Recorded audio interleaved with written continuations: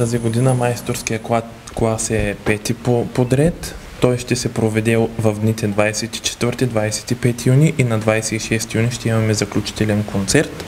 А, тази година сме се спрели на преподавател господин Тончо Тонев. Той е изтъкнат акордеонист. Всеки един акордеонист от младото поколение и не само, нали, е запознат с а, неговото творчество, с неговия талант и всеки един от тях иска да подражава, както и аз също време, нали, искаме да подражаваме на него и не само на него, нали, и да се учим от най-добрите, а той е именно един от най-добрите в България акордеонисти. Малко да кажем част от, съвсем малка част от богатата му биография.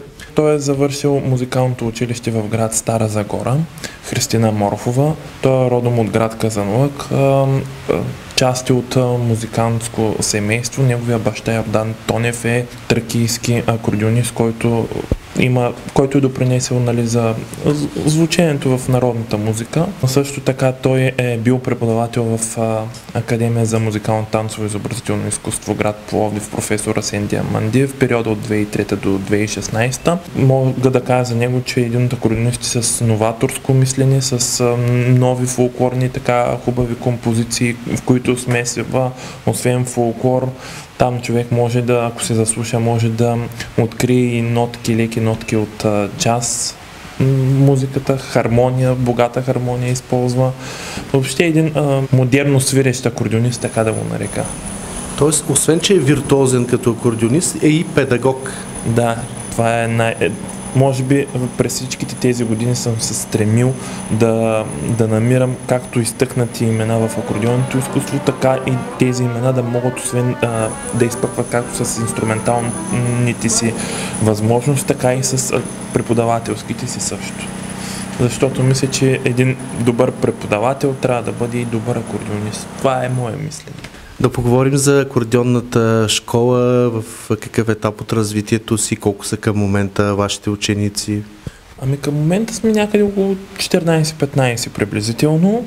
В школата се обучават наистина от 5-6 годишни нали, имам и двама-трима възрастни в, в школата, нали, но лично аз като, като педагог предпочитам моята работа да е свързана с, с децата и с тинейджерите, които имат интерес към, към акордеона. Школата за мен лично е в един много добър етап от нейното си развитие. През тази година имаме доста Имаме доста награди, вече може би станаха около 6 конкурса от февруари месец до насам, предстои ни още един следващия месец. А, наистина сверяваме си часовниците с всеки един изминал конкурс. Виждаме, че а, нашите възпитаници нали, на школата са на едно много високо ниво Виждаме по конкурсите, че е, има деца от други музикални училища и мога да кажа най-спокойно, че нашите възпитаници и ученици е, по нищо не се различават от децата в е, музикалните училища, които изучават този инструмент. Нашата школа стартира от 1 октомври 2019 година.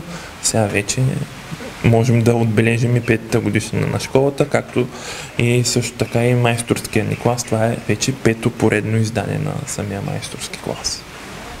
Така ли си представяхте развитието на акордеонната школа, когато решихте да се завърнете и да се насочите към, към основаването й? Ами, може би с такъв успех, може би не съм се представил, но съм имал планове, със сигурност имал планове как искам тя да се развие.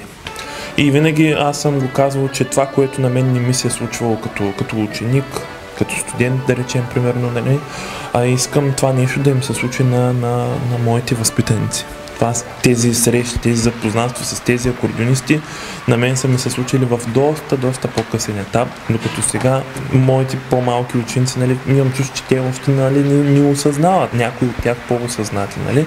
Разказвам им истории с тези акордеонисти, карам ги а, задължително да се запознаят с тях, с тяхното творчество, да гледат клипови в видеоплатформата YouTube и в общи линии да са запознати какви акор... акордеонисти имаме в България. Това, това, е, това им възлагам като задача. Още веднъж да кажем кога ще бъде заключителният концерт.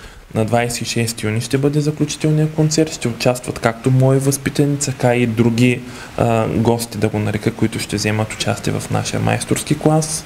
А, също така тази година сме наблегнали на богата оркестрова програма в самия концерт. Детски акордеонен оркестър, той ще, може би ще наброява някъде около 8-9 ученици. Също така нашия акордеонен квартет, той също ще се представи с две пиеси и може би тук, както вече всички определят като изненадата, това е един акордеонен оркестър, който е съставен както от а, мои възпитаници, така и от а, преподаватели и наши акордеонисти в нашия град, изтъкнати, които в смисъл такъв, че те са посветили изцяло целия си съзнателен живот на, на този инструмент.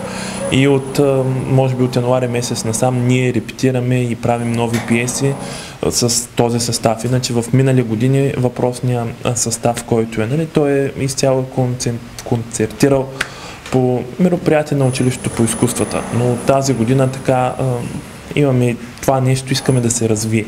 Да се развие да, и да се превърне в единствения акордеонен оркестър на България и той да бъде част от нашия град. Това не, това, е, това не е целта и с моите колеги сме го говорили. Това нещо, че никъде другаде в България няма такъв тип ам, акордеонен оркестър. Искаме този акордеонен оркестър да бъде единствения продукт и той да бъде в град Добрич.